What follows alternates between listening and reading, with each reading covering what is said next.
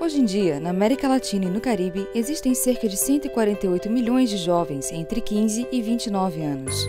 No Brasil, somos aproximadamente 51 milhões de jovens, dos quais mais de 2 milhões e 400 estão no estado de Pernambuco.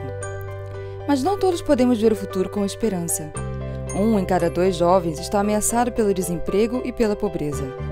Quase dois em cada três jovens não conseguem terminar o ensino médio e dos que se graduam, metade não tem as competências básicas para entrar e permanecer no mercado de trabalho, colocando em risco o crescimento da economia brasileira.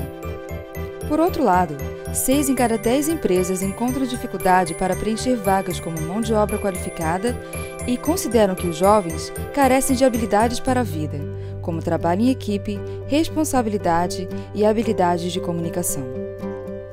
Em decorrência desse contexto, surgiu em 2017 a Aliança Anel Brasil, uma iniciativa pioneira para melhorar a empregabilidade dos jovens em situação vulnerável em Pernambuco.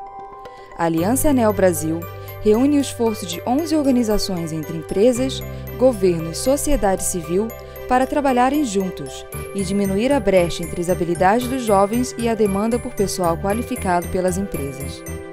A Aliança Anel Brasil procura fortalecer as capacidades de 100 instituições e 300 educadores para melhorar a qualidade dos serviços de formação, orientação vocacional e acesso ao emprego, beneficiando mais de 65 mil jovens para o mundo do trabalho até 2020, metade mulheres como eu, e mobilizar mais de 100 empresas que oferecem empregos e estágios para jovens. Junte-se a NEL para criar melhores oportunidades de emprego para os jovens. Hashtag Eu Sou NEL www.jovenesnel.org